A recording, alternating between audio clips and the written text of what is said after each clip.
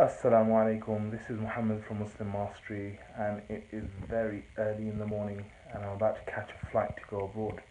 Um, the interesting thing is, whenever we to go abroad and catch a really early flight, we tend to wake up early no matter what's going on, even if we slept really late the night before. However, with Fajr it's completely different. There's times when you may go to sleep but not be able to wake up Fajr even if you've had 8 hours of sleep. And all of this is got to do with our mindset and the way that we think about missing a flight in the morning compared to the way we think about missing Fajr.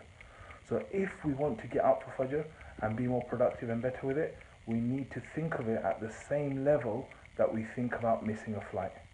Jazakallah khair for watching. Assalamu alaikum.